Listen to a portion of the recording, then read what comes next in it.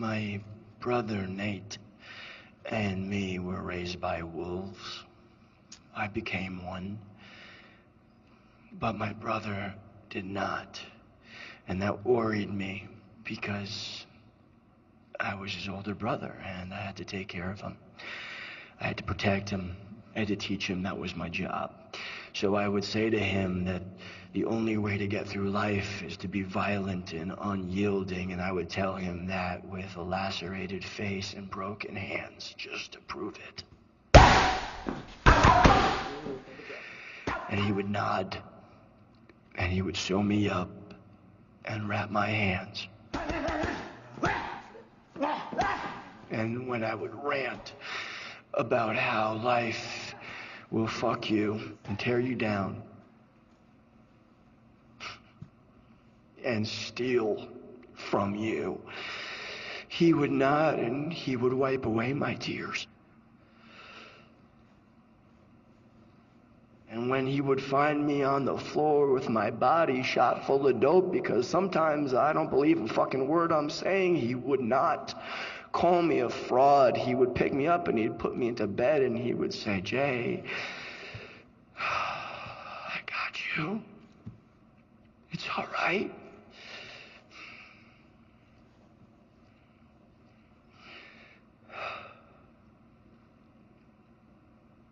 Nate was kind, he was courageous, he was brave, he was loyal, he was unrelenting. And he was an absolute savage in this cage.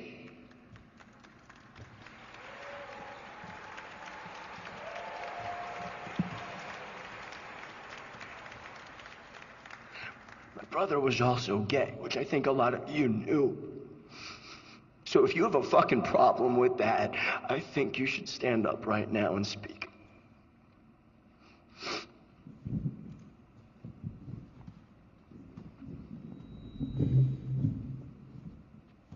Wow.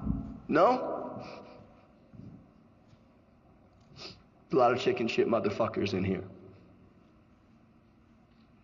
Fuck you. You are not allowed to whisper anymore. For all of you who talk shit, who made my brother's walls around him rise up, fuck you. Stand up. Step into this fucking light. And then sit the fuck down because he still would whoop your ass.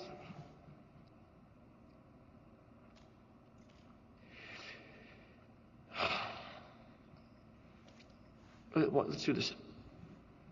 No, silence, please.